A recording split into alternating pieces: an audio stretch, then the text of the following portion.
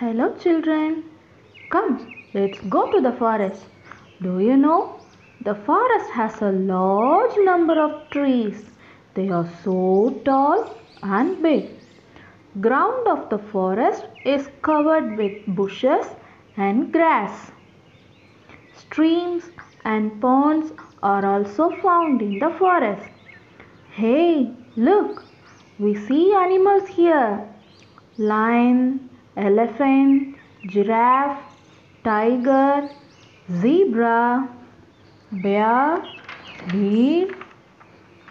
Children, look there. We see birds also.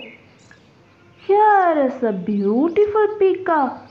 How beautiful it is. Oh, doves, sparrows, parrots, woodpecker, eagle, all also flying there. Forest is home to many animals and birds. Can you hear the different sounds of animals and birds?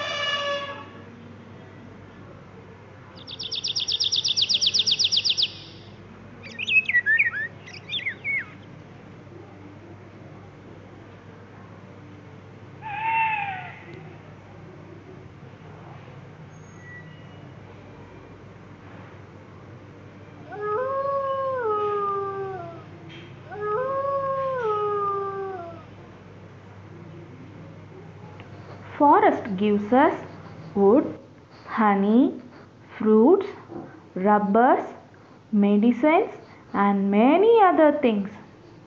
This place is very cool and shady. I like forest. Do you like it?